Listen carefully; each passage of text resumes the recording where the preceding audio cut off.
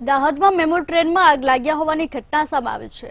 દાહોદ જેકોટ નજીક આ ઘટના બનવા પામી હતી.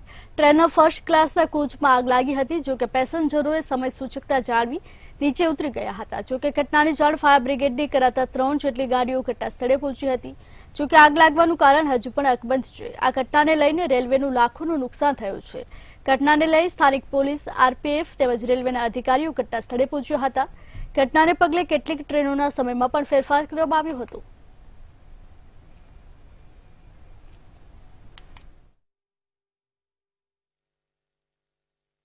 હું શાસ્ત્રી દાહોદથી મેમોમાં બેઠેલો આણંદ આણંદ આણંદ તરફ જવા માટે. તો હું સૂઈ ગયેલો. તે એકદમ આગ લાગી તે અંદર હોવા આવ્યો આગ લાગી. પેસેન્જર નીચે ઉતરી ગયા. ગાડી સ્ટોપ રહી. એટલે હું મારી બેગ લઈને નીચે ઉતરી ગયો. કેટલા લોકોને વાગી હોય કે ઈજા થઈ જશે? કોઈ ઈજા તો થઈ નથી.